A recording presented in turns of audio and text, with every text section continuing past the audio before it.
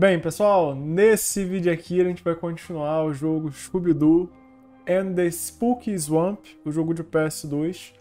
Vocês conseguiram, pessoal, vocês deram muito like, deram muita visualização no vídeo passado e vocês pediram por série e virou uma série agora, de fato. Então a gente vai jogar até o final, pessoal. E eu conto com o like aí de vocês. Não esqueçam aí de, de me apoiar. Ó, tá dizendo pra seguir os nossos narizes. Tá falando pra seguir o cheiro de comida. Esse foi um diálogo que a gente viu ao final do episódio passado, e como eu dei um carregamento de save, acabou que deu mais uma vez, né, o diálogo.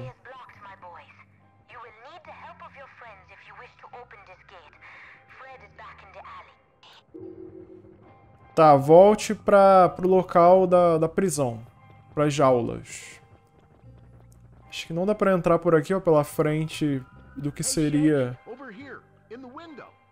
a delegacia, né? Ó, o xerife continua dormindo. Quem sabe esses explosivos podem ajudar a gente a sair daqui. Por que, que você não tenta gravar o xerife? Ah, então vai dar pra entrar aqui sim, pelo jeito. Ó, aperte e segure o bola pra gravar o xerife.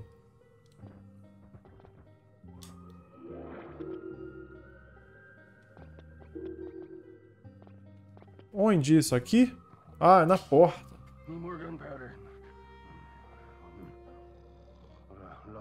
Bem, tá gravado. A gravação revela que tem um Gunpowder no salão. E isso pode ser usado para libertar o pessoal, a gangue. Hum. Então vou ter que ir lá pro salão. Bem, gente, eu de verdade espero que vocês gostem dessa série aqui. Eu tô bem empolgado aí pra, pra continuar as gravações, o jogo em si. E muito obrigado, mas muito obrigado mesmo todo o apoio que vocês deram no primeiro vídeo, que foi um apoio, assim, absurdo. Muita gente querendo ver série desse jogo aqui no canal. Obrigado a todo o apoio. Aqui o jogo está orientando o seguinte, alguns monstros, monstros dropam, eles soltam máscaras que a Velma pode estudar. Colete o suficiente de cada tipo para desbloquear recompensas especiais.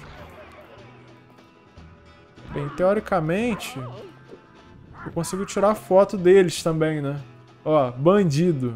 Eu tirei uma foto do bandido. O nome do, do vilão é bandido, né?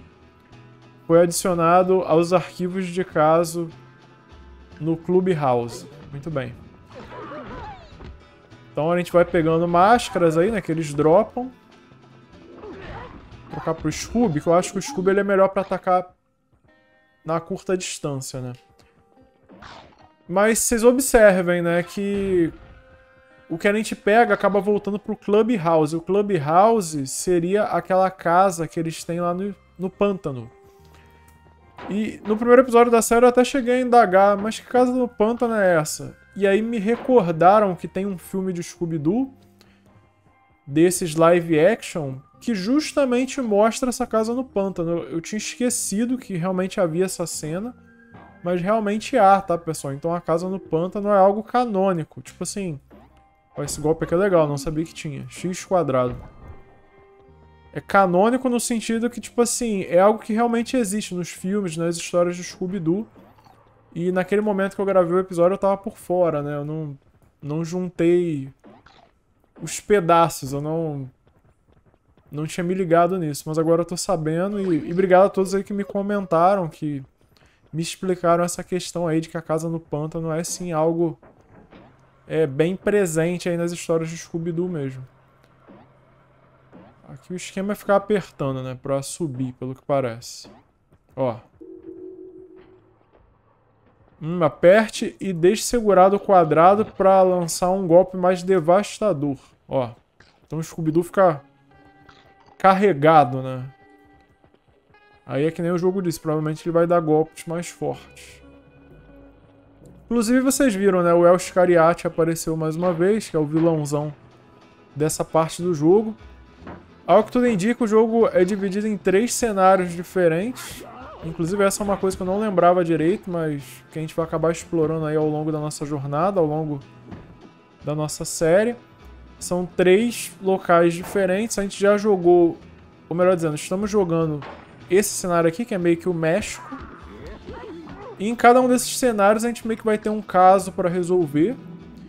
E também vilões diferentes para enfrentar, né? Vocês têm notado aí, Ó, quem empurra aqui é o Fred, né? Eles não têm essa habilidade de empurrar itens. Eles não têm, tipo, força. Mas, tipo assim, em cada ambiente, em cada cenário desses, teremos inimigos diferentes para enfrentar. Esses inimigos pequenos aí que aparecem ao, ao, longo da fase. Por exemplo, aqui a gente tem enfrentado daquele tipo que até o, o jogo chamou de bandido. Eu achei engraçado o nome que deram, né? Bandido. Mas é exatamente isso. E aí, com o passar do jogo, dos cenários, a gente vai enfrentar inimigos diferentes desses daí. Ó, dá pra bater aqui, ó, e ele nos dá biscoitos Scooby, inclusive. Bem, ali tá El Banco, escrito na, na placa. Que me faz pensar que não é ali, né? Parece, ao menos.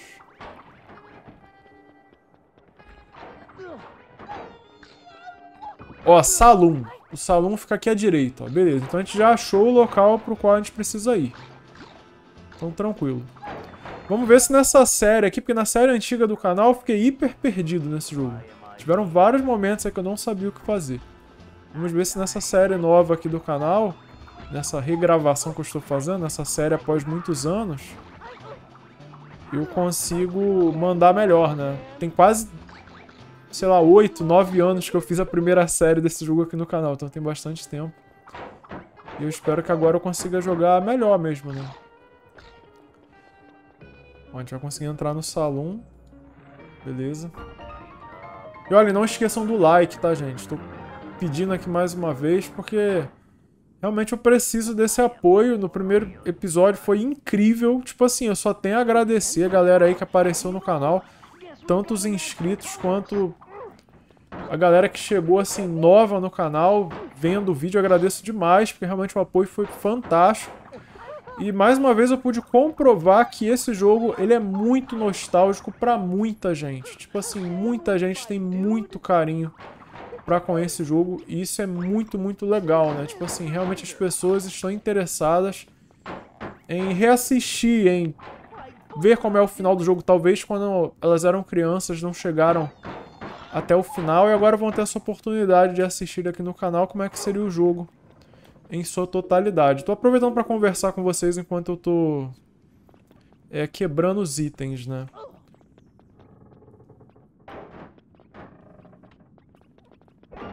Ok, tem que acertar as cores. Eu me lembrava vagamente disso aqui, pessoal. Bom, a gente tem mais um item lá em cima. Não é assim que chega nele. Acabei de comprovar que não é assim. Ó, como é que faz então?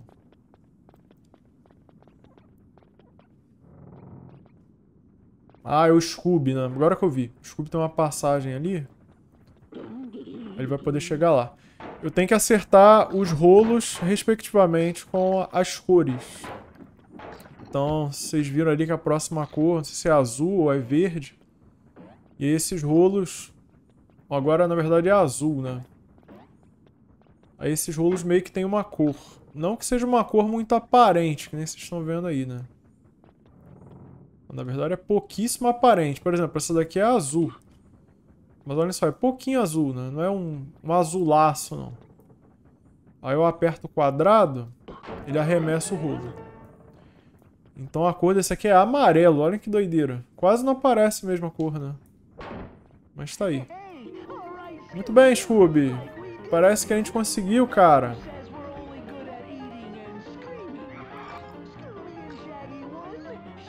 Ó, Scooby e Salsicha 1, Xerife 0. Ou seja, eles estão comemorando porque eles estão conseguindo um avanço.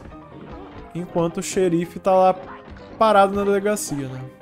Lembrando que o nosso objetivo, mais uma vez relembrando vocês, nosso objetivo atual é soltar a galera. Tanto o Fred, a Daphne e a Velma. Eles estão presos lá.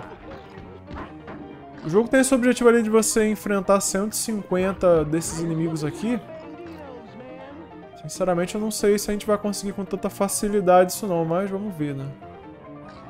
Aqui o que que vai rolar, pessoal? Vendo que eu tô com um barril explosivo? Eu vou ter que voltar com ele até do lado da delegacia. Acreditem, é isso que eu vou ter que fazer. É muito doido, né? Mas é isso que eu tenho que fazer.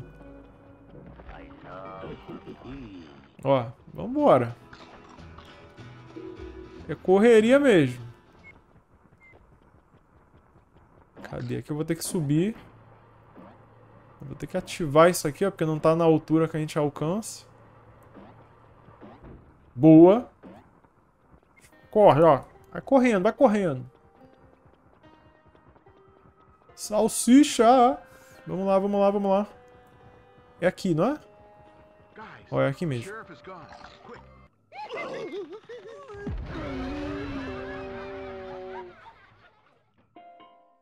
Cena bem comédia, né?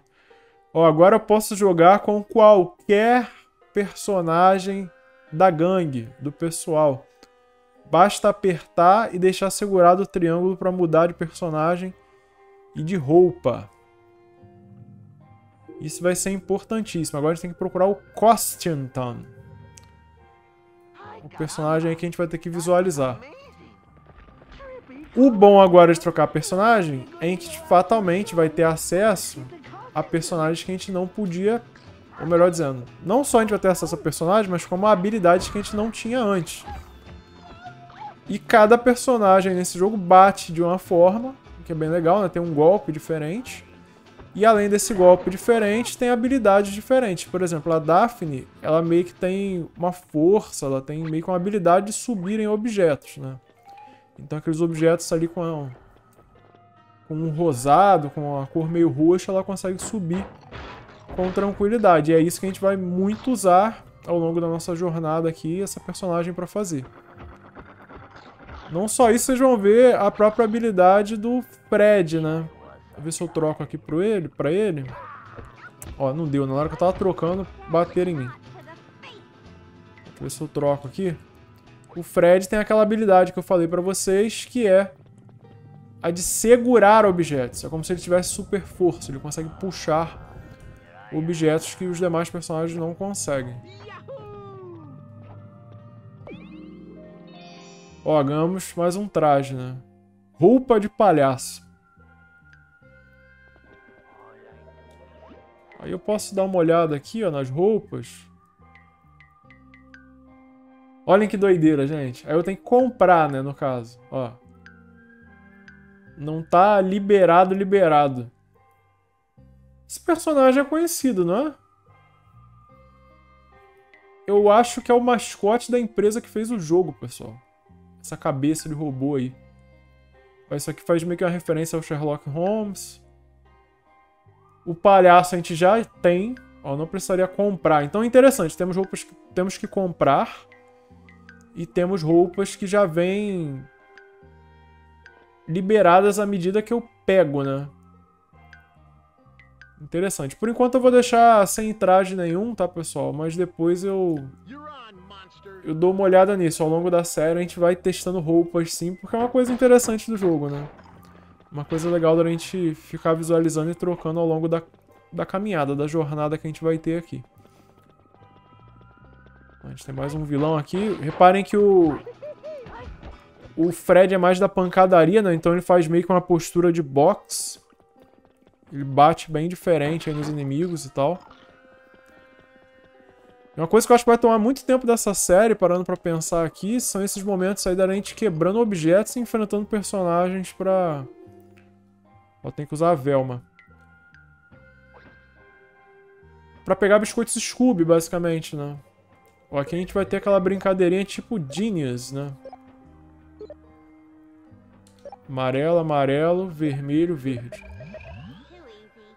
Fácil demais. Foi o que ela disse. Interessante que apesar de ali mostrar as setinhas, ó, por exemplo.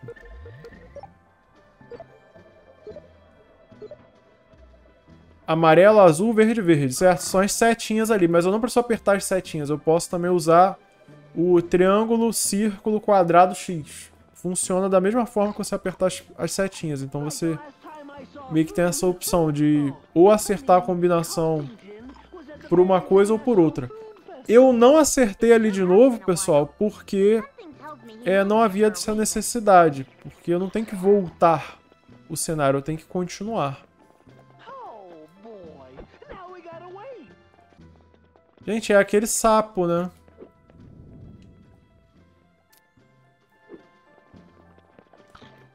Ó.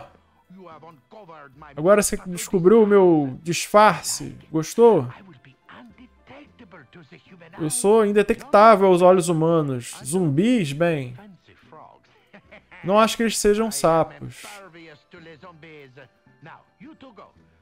Ó, vão vocês dois. Eu tenho coisas de sapo pra tomar conta, pra fazer.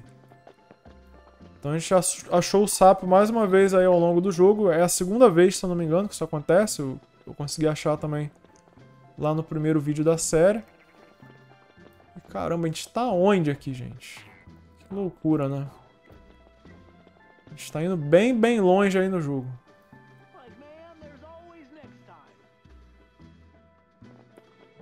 E vocês observem, a Velma também é uma personagem que ataca a distância, assim como o Salsicha. Só que ela arremessa livros, enquanto o Salsicha ele usa a questão do estilingue, né? Bem, bora usar a Velma aqui. A gente vai conseguir pegar a roda dentada. Se ela ir direitinho, é claro, né? Isso, minha filha. Cai não. A gente vai poder colocar aqui, ó. Pelo que tá faltando. Foi a exata mesma coisa, basicamente, que a gente fez lá no pântano. Que a gente teve que pegar uma roda dentada e colocar na posição certa. Ou seja, aquilo foi basicamente um tutorial para que a gente chegasse nesse momento aqui do jogo e soubesse o que fazer também. Faz sentido, né? Bem, aqui é para voltar, eu não quero voltar e, eu vou usar o Fred para para pegar essas coisas aqui. Vamos lá. Legal que o jogo dá muita liberdade, né, gente? Essa questão de você poder trocar de personagem a hora que você bem entende, a hora que você quer, é uma coisa bem positiva. Tem um outro jogo do Scooby-Doo que se passa antes desse, que é o First, First Frights, Frights, na verdade, First Frights, primeiros sustos, primeiros mistérios. Tem até um filme que é O Mistério Começa, né, que seria basicamente o que representa esse jogo que ele também tem essa questão de ter vários personagens para você usar. Só que é um pouco diferente, no sentido que lá você não tem essa liberdade de trocar a hora que você quer. Aqui nesse jogo não. Lá, se eu não estou enganado, são fases fixas. Por exemplo, tal fase é com o Scooby e com o Salsicha. A próxima fase, sei lá, com Daphne e com a Fred. Com Fred. Com a Daphne e com o Fred. E por aí vai indo. Então aqui é, é um pouco diferente e é uma coisa bem legal, uma característica do jogo que é bem maneira, pelo menos eu acho. Mais inimigo aparecendo. Me lembro vagamente, pessoal, desse cenário aqui. Vagamente mesmo. E eu também, jogando aqui o jogo, eu também me lembro vagamente quem é o vilão, quem é o culpado, culpado mesmo, quem é o, o El Scariate, sabe? Só que eu, eu vou dizer para vocês, vou continuar dizendo que eu lembro vagamente, porque eu não tenho certeza se é a pessoa que eu estou lembrado.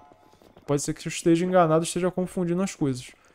Afinal, volto a dizer, né, tem quase 10 anos que eu não jogo isso aqui, então é muito tempo.